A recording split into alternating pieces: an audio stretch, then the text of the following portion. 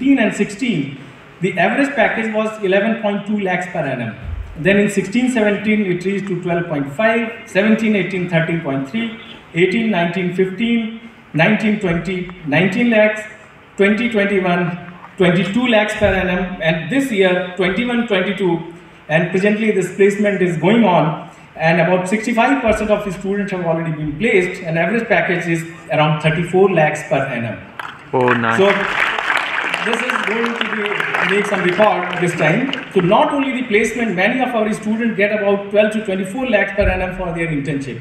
They do projects here, they do studies here, and at the same time they also solve many world-related problems.